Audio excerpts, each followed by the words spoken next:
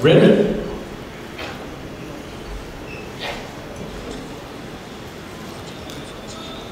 Ladies and gentlemen, from Japan, Shuei Kanai.